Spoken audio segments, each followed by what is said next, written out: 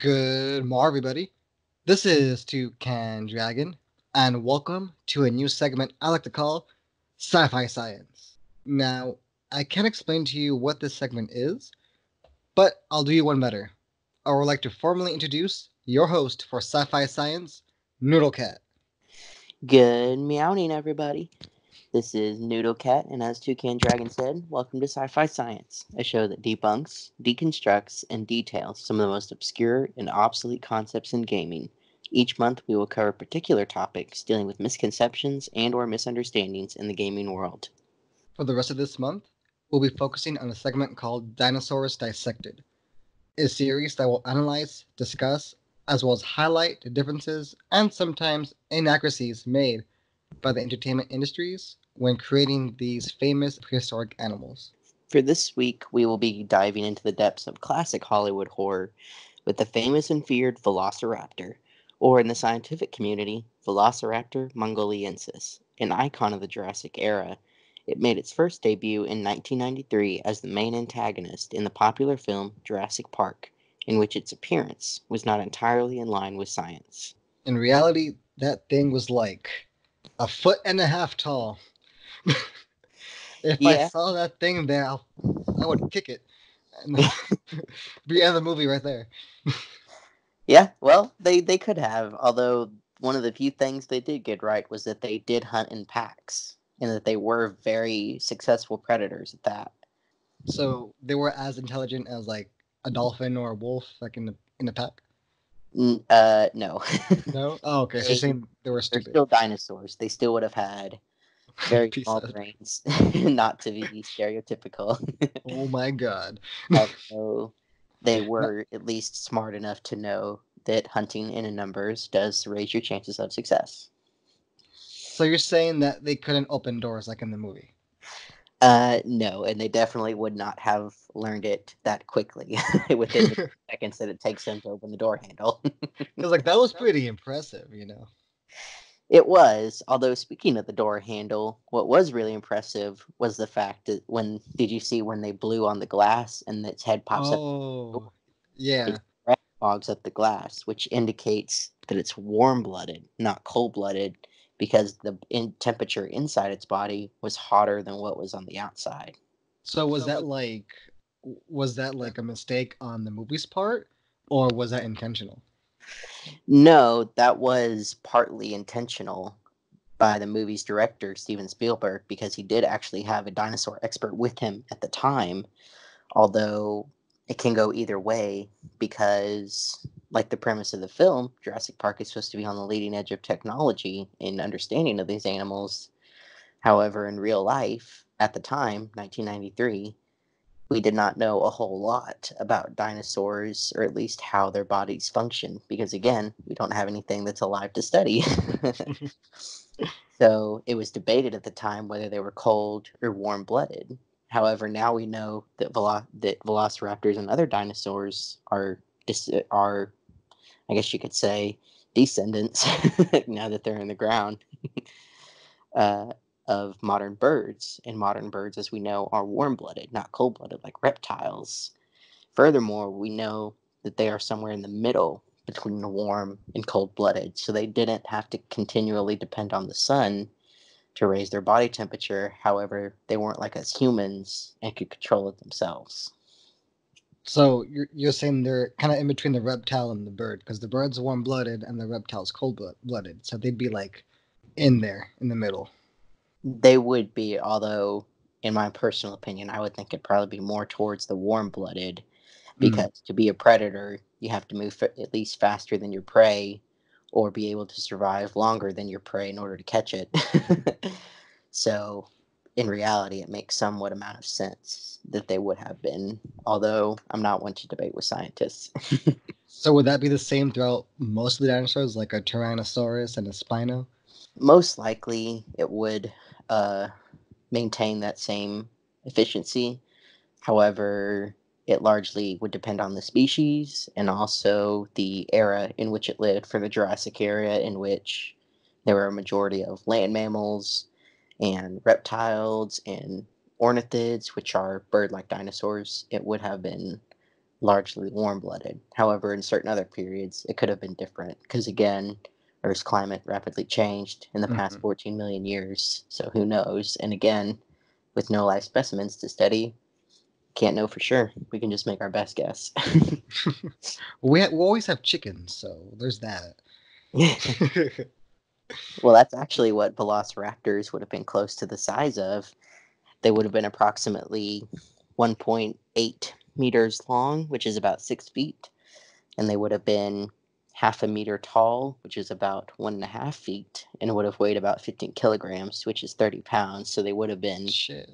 about the size of a small turkey, although their head probably wouldn't reach your waist if they were laid out like this and they were running. So you wouldn't have much to worry about there. Although honestly, I'd be more concerned about that giant claw on their foot.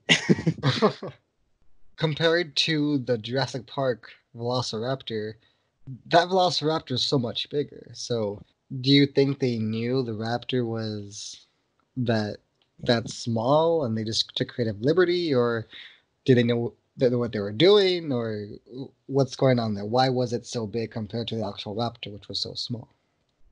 Well, it was a little bit of both.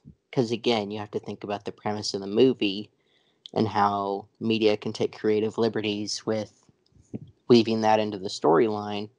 But also, I think it's a horror factor. You know, if you see something that's the size of, say, a Labrador retriever that looks like a velociraptor, you're probably not going to be as scared as if it was, say, six feet tall or six and a half feet tall and was looking you in the eye and had a mouth that could literally chop your arm off. To be honest, I'd be more terrified of a pack of those tiny little raptors than one Velociraptor. yeah, definitely. And that's that's the other thing too is we don't know how successful they were because one of the original specimens of velociraptor fossils that were found among the others is a very famous one called the fight which is velociraptor and what i believe is a sinoceratops locked in battle and Oh shit! velociraptor has its claw what looks like would probably be in the Sinoceratops's neck. However, the Sinoceratops beak was preserved and it appears to be breaking its arm. Also, that's another thing in the movie is that we have no idea if those arms, which would have been winged by the way, we have no idea if they were used to grasp prey like they do in the movies. Because, you know, especially in Jurassic World, whenever they lash out at someone, they go arms first and try to grab them Yeah. try to reach through, reach through stuff. So we have no idea if they would have even been used for that or if they were like the T Rex and just more or less just steal organs. Little tiny arms. yeah, those T Rex t shirts would be featuring velociraptors. so you you mentioned that their arms would probably probably be feathered. So would their whole body just be feathered like a chicken, or be like partly feathered, or because in the movie it, they're not feathered at all. It's just like leathery skin or scales. It looks like leathery skin to be honest from the movie, but it's probably trying with scales. But it wouldn't be like that, right?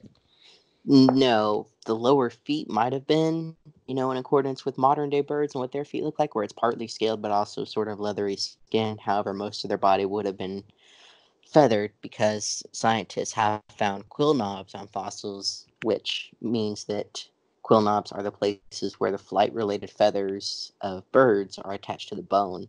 And they discovered those on velociraptor fossils in 2008. So we know for a fact that they at least had some, although we don't know how many, because again, when you're searching for fossils, it gets kind of hard to hmm. understand entirely. Although, who knows? So do you think that since he had these feathers and these quill knobs, could they fly, or at least glide? No, they probably would not have been able to fly. I know it sounds like a bee joke, but the but the size of their forearms, not to mention the amount of feathers and the type of feathers, probably would not have been able to give them enough proper lift in order to be able to fly.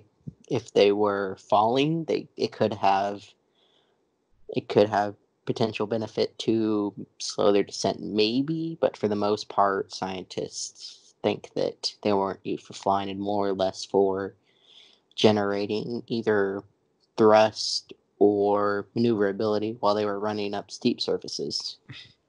Or just get all fancy and dress up in those little fancy feathers. Yeah, like putting them over their head and doing like a little cha cha dance or something. Oh, oh yeah, you know, I, mean, I would do that. Go to the club, put on some Velociraptor feathers, and start like strutting. yeah. well, you'd probably get eaten, but oh, that's that's probably true. At least they're not praying mantises, though. oh God! Oh no! In PTSD. so the closest thing that we have in the entertainment industry that resembles the actual raptor is in the video game Ark Survival Evolved, right? It's it's feathered, but not like completely feathered. Well, maybe, but again, who knows? Although, if you played Ark Survival Evolved and you've listened to this podcast, you would probably think the Microraptor looks more similar um, except true. for the ability to paralyze you with neurotoxins or something like that.